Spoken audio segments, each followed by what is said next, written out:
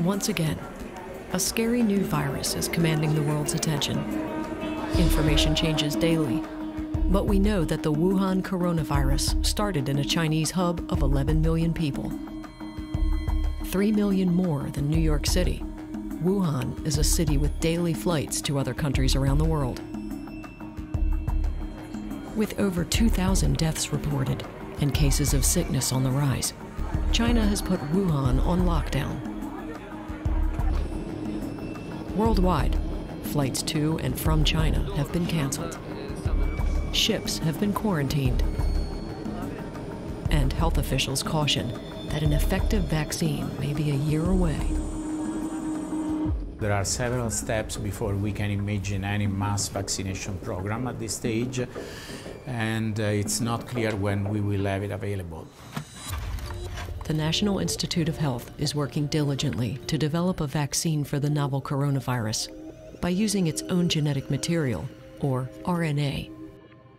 What an mRNA vaccine is, is we're essentially delivering the genetic material. So we're delivering the messenger RNA that encodes our mutated novel coronavirus spike the messenger RNA will tell the body to present this spike protein, and the body will respond by creating an immune response. But a lot more needs to be known about this coronavirus before any vaccine can be effective and widely available. Just what is COVID 19 and how does it spread? You know, every day that goes by and there are more cases, it's more likely that the, the epidemic will surface in other places.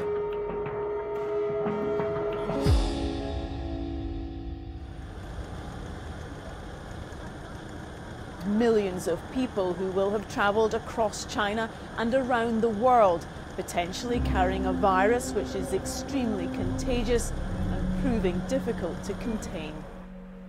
Should we be worried? What are your chances of getting the latest coronavirus?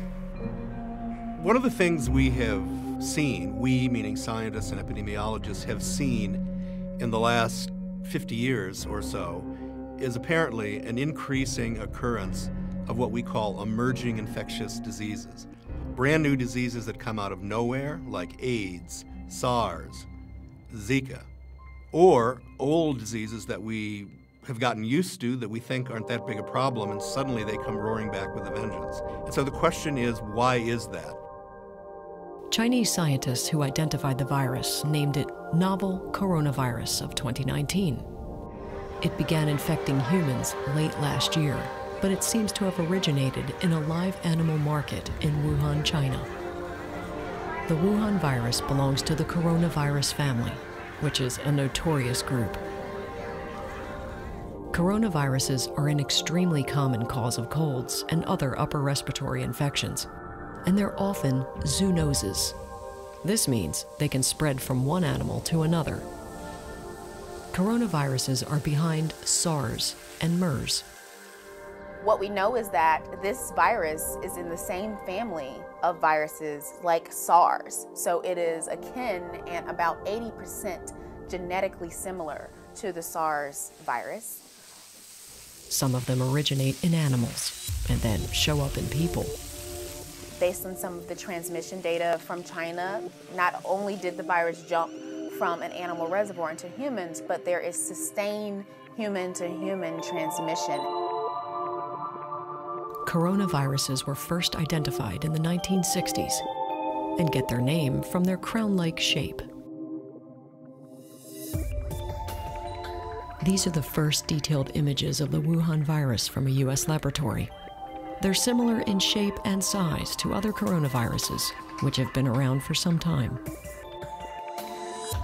And how long they go back is um, a debate. There is a new uh, belief now that at least some viruses used to be bacteria, which are living organisms, and then learned how to do without their replication machinery.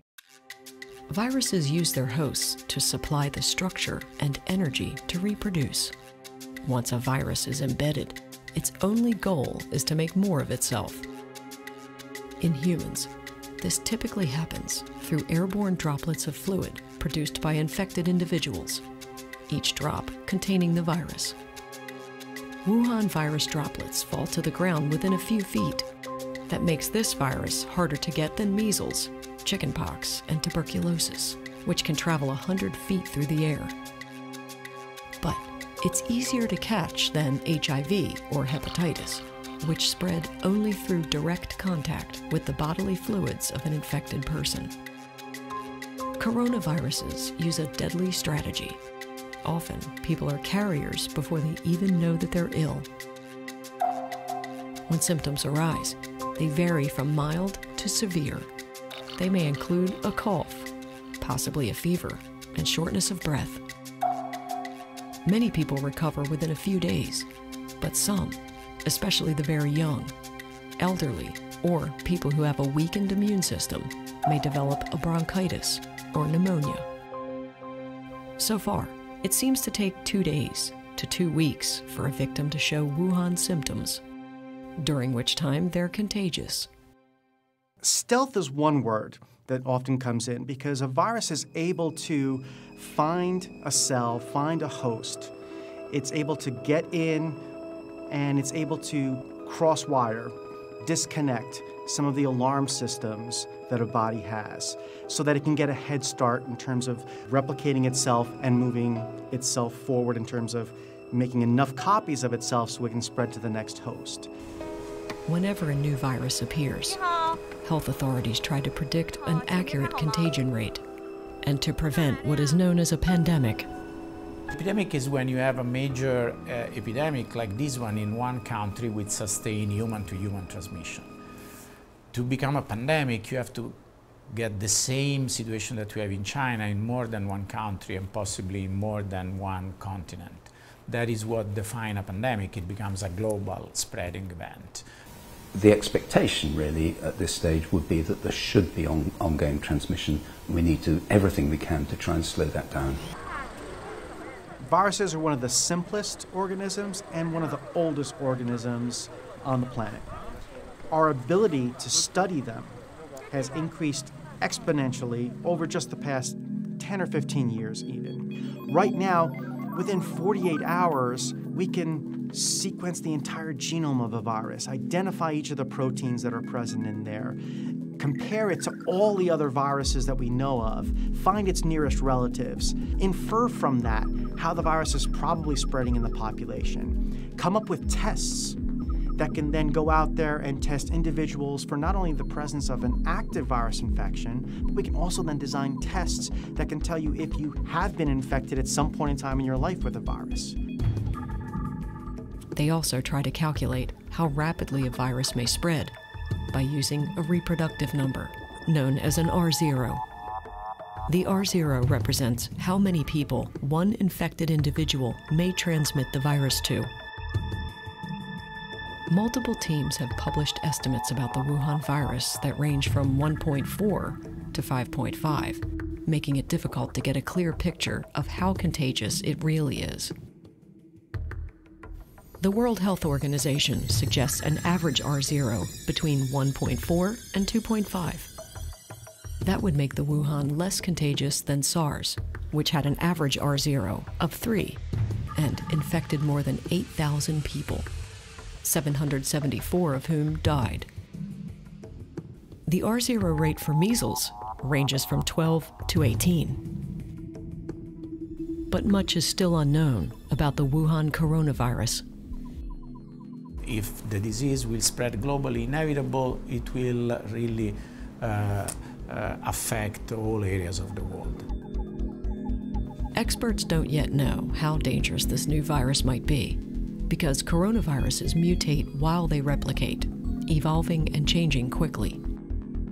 Well, the more you know about the virus, the more you can use network science, epidemiology, and all the tools that science provides us uh, to optimize what, what we do.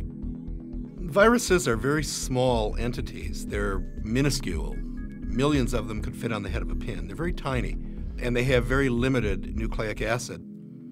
They're programmed, if you will, to purposely make all sorts of genetic mistakes when they are replicated by a cell. And the reason that's advantageous is because the one thing a virus can do well is mutate at a very high rate. And what that means is if you can mutate at a very high rate, you can potentially take advantage of not just one, but hundreds, thousands, maybe even more ecologic niches that you might encounter.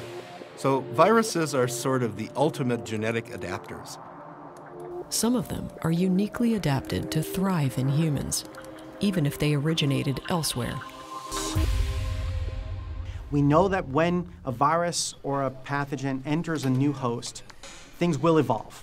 What we don't know is where that evolution leads. Will it lead to increased disease? Will it lead to less disease? Will it lead to increased amounts of the virus with fewer symptoms? These are all the potential possibilities, and it's another reason why we really need to monitor this infection and these outbreaks very, very closely, not only from the aspect of preventing disease in the public, but also because we want to keep track of how the virus is changing and make sure that we're trying to keep up with that virus in terms of how its properties might be changing now that it's seen so many individuals.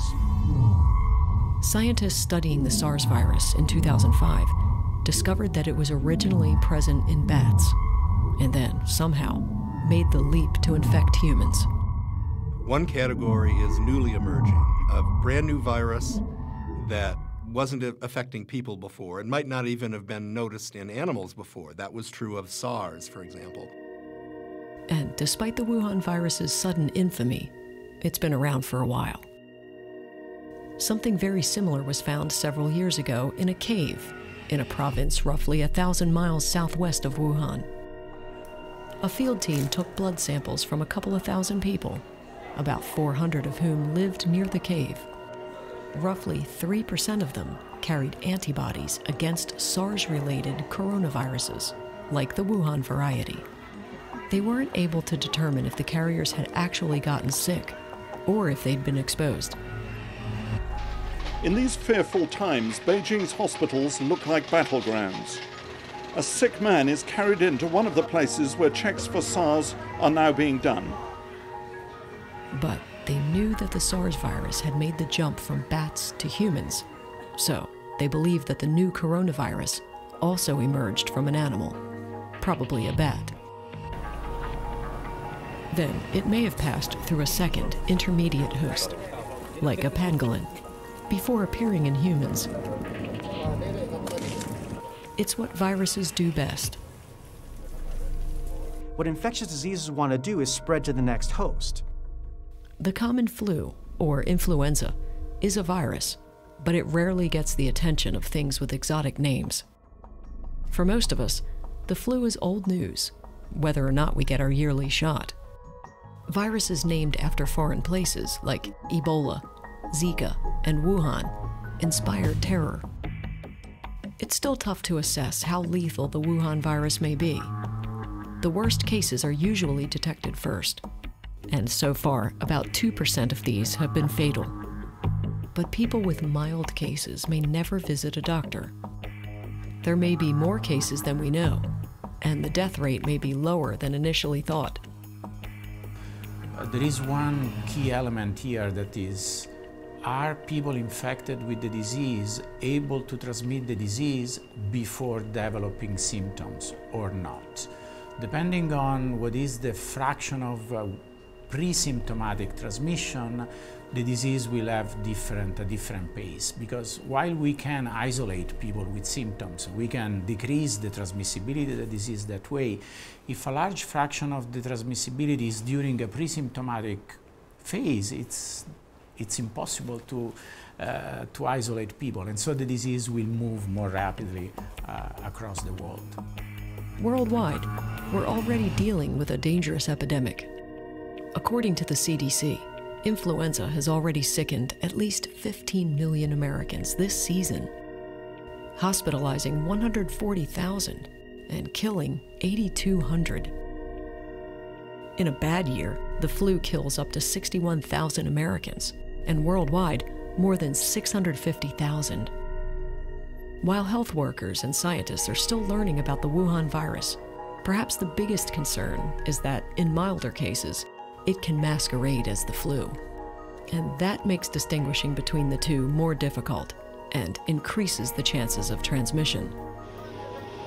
When it comes to the Wuhan coronavirus, or any new virus, increasing global connectivity magnifies the problem. We have to be aware that now every place in the world is one flight away from China. And uh, every place in the world is one flight away from almost all other places. Uh, it may be two flights instead of one, but it's, we are living in a global interconnected world. But the experts are on the case. Today, we can do all these things in a matter of hours, and we can come up with tests that tell you if you're infected. We can come up with tests that tell you if you have been infected previously and controlled the infection. And we can do so in the matter of days, what used to take years to do in the 50s and even in the 80s. So our technology has progressed significantly in terms of our ability to do things effectively and quickly. It really is now our ability to implement all these things that is uh, something that our public health officials are working on. Thwarting this virus or any new disease requires a hands on approach by multiple partners. Since the very beginning, uh, all the agencies have had a good deal of coordination the World Health Organization, Center for Disease Control, European Center for Disease Control, and they have created a network of people they talk to.